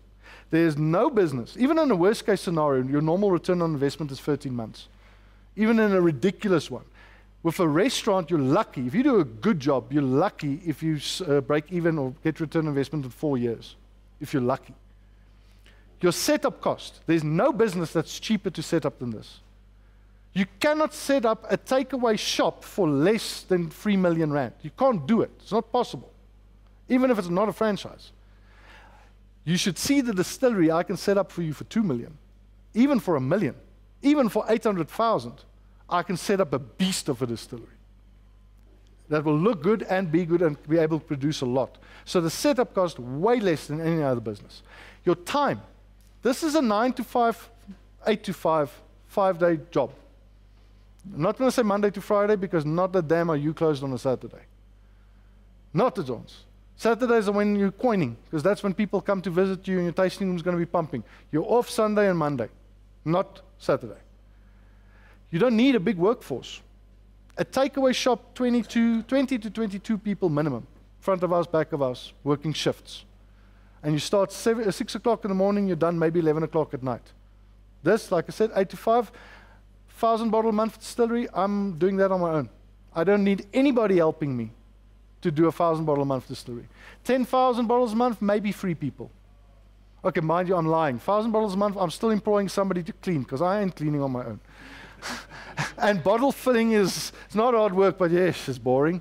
So yeah, I'll, I'll, I'll employ Appy. But I'm not, it's not a labor intensive business. You don't have massive staff overheads. But still, having said that, we still employ more people on a per bottle basis than Distell or DGB or any of those guys. So, and the government knows that. That's why they're changing so many of the laws because we're creating job opportunities. We are empowering people. My favorite recruitment place, you're going to laugh now. You know where I recruit guys to work in distilleries? KFC, McDonald's, kitchen staff. Why? Because they work crap hours for crap salaries. It's easy to recruit them. Plus, they've got 90% of the training you already need them to have. Clean as you go, proper cleaning procedures, stock take procedures, stock rotation. It's drilled into them in big international brands specifically. It's drilled into you from day one. it's second nature. You don't, that's the most difficult thing to teach somebody. Our clients, you know, I have the most trouble with. The doctors, the engineers, the accountants, the architects, the, you can't teach them to clean up after themselves. I am kidding you not. They cannot clean up after themselves. And like we said, 90% of running the business is cleaning. So, recruit people. They're easy to recruit. They're reliable because you're giving them an opportunity to advance themselves. You're teaching them skills. One of the guys I'm most proud of, Pienaar and Sons, um, he, after he did his training, did exactly that. Recruited guys working in that industry. They are now both assistant distillers, where in the beginning they were washing bottles. Now they're assistant distillers. And last time I heard, they've actually got their own brand now, where the profits of that, that's their brand. He's create, they've created their own brands. That's empowerment. That's upliftment. And that's things we can do in this industry. It's an industry with lots of potential for to be environmentally friendly, to be socially responsible. Yeah, we've had a lot of bad press with COVID. Alcohol is the evil. Alcohol causes all the problems. Alcohol caused COVID, for all we know. Um, and it was ridiculous. Yeah. It's, it's ridiculous that if, especially in the craft industry, if you look at what the craft guys do, the way we operate, it's the people with the most passion you've seen in your life, the most social responsible attitudes you've seen in life, and the most environmentally responsible people you've seen in life. For us, things like saving electricity, saving water, not generating waste, it's not just good business sense. It is good business sense. It's just second nature. That's how we operate. So, I've talked a lot now. I hope you guys have got some of your questions answered. I hope you have a better idea of what is involved. And at least now we've met. So if you've got questions, if you need more information, contact us, send me a mail, pop in for a visit. We're here to help. Um, and we're not going to BS you. We're not going to give you sales talk. We can make it work, whatever your plan is. And if it's not going to work, if you do not have a big enough budget, we're going to tell you that this is not going to work. Rather look at contract distilling and start up, grow your budget, and then go commercial. We've got clients that can do that. I can, can give you five guys right now We'll take your call and set up a meeting with you if you're serious to do contract distilling. Easy. And that's just here in Gauteng. Even more if we go nationwide. There's always options. We're here to help you. We're here to make things work for you. Okay. Guys, that's it from me.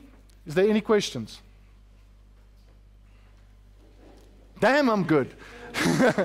All right, thank you very much. Have a safe drive. Enjoy the rest of your weekend.